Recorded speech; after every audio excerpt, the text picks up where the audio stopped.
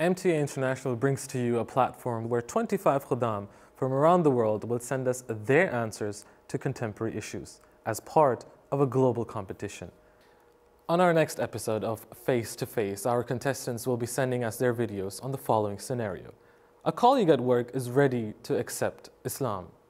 However, they cannot really understand the need for parda. What would you reply?